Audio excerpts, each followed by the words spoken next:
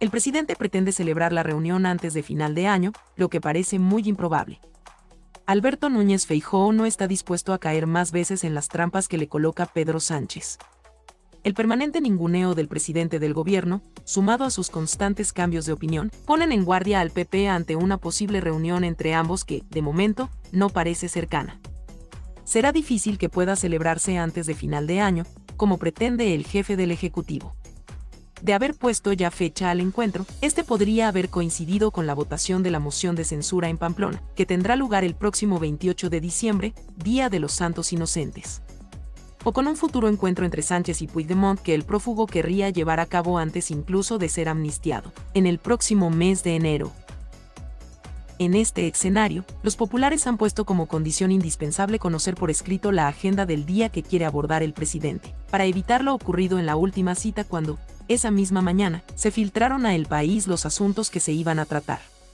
Un contenido que desconocía el PP y del que fue informado a través de los medios. Sánchez procedió de la misma forma al anunciar sus intenciones de llamar a Feijóo para reunirse con él antes de final de año, durante un corrillo con periodistas. De nuevo, volvió a trasladar a los medios sus intenciones de abordar la renovación del CGPJ, la reforma del artículo 49 de la Constitución y la financiación autonómica, sin haber siquiera contactado con el líder de la oposición. Cinco días después, a unas horas de que la amnistía iniciara su trámite parlamentario, el gabinete del presidente contactaba con el del PP para intentar fijar una fecha, y presionaba para que fuera antes de final de año. Feijóo se resistió a hablar del día antes de conocer el contenido del encuentro. Solo tres días después se conocía que el PSOE había pactado entregar la alcaldía de Pamplona a Bildu y una reunión entre Sánchez y Puigdemont. En este escenario, en el PP entienden que no existe una voluntad real de reunirse con Feijó, más allá de pretender blanquear sus acuerdos y reuniones con los separatistas, en una jugada que recuerda a lo ocurrido con el CGPJ hace dos años cuando, a punto de cerrar el acuerdo y después de haber garantizado que no aprobaría los indultos a los separatistas, se supo que iban a ser aprobados.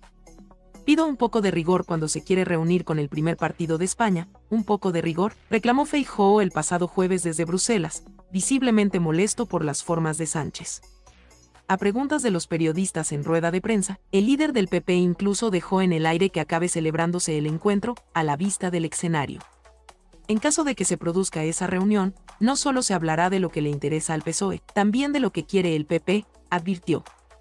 Así las cosas, la reunión entre ambos parece encontrarse en una fase aún preliminar, a la que seguiría el intercambio de notificaciones oficiales entre ambas partes para fijar un orden del día, al que después seguiría una nueva negociación sobre la fecha, teniendo en cuenta la desconfianza que despiertan en el PP las intenciones de Sánchez.